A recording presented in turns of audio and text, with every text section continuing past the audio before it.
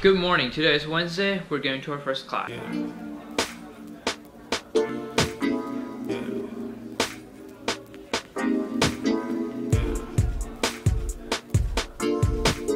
It's time to eat and to get a new lab notebook.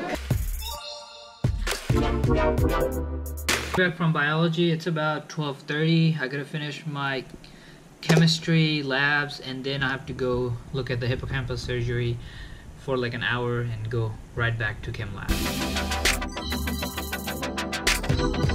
Headed off to research to learn about the new hippocampus surgery.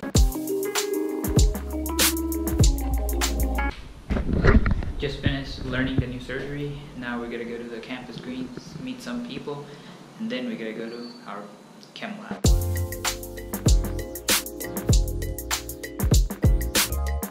Hey, came back from chemistry lab. It's been like an hour, took a shower, 15 minute nap. Now we're gonna go have some lunch, dinner, have some dinner with my friends.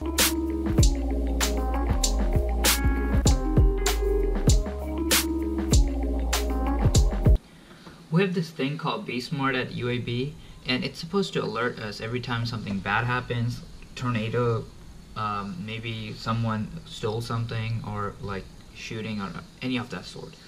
A person died at one of the parking decks at, decks at UAB, and we didn't get a B alert. Sometimes we get alerts 500 miles from here for a tornado warning, and they don't alert us for the people that are dying two blocks from us.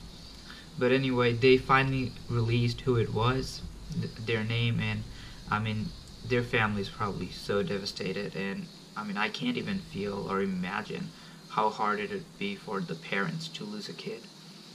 But BeSmart needs to get so much better. Like, they alert us 50% of the time, and for the stupidest reason. Someone lost a laptop or something like that. And other times you have people shooting at each other, and they don't even tell us about that. But anyway, it's 2. I probably should go to sleep. It's really late. I'll see you guys tomorrow.